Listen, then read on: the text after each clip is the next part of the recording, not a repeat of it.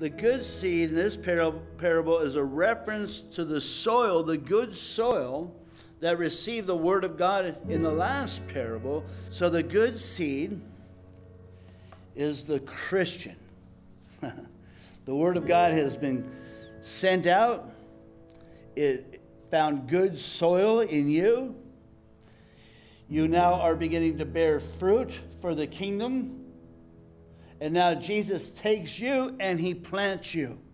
Maybe you are a businessman in a company. You have to view that as God has planted me here. I am His, and the field is the world. And He's going to take you and He's going to plant you where He wants you. He planted you there because He wants you to be a witness there. He has a plan for you there. He wants you to be a light in that dark place.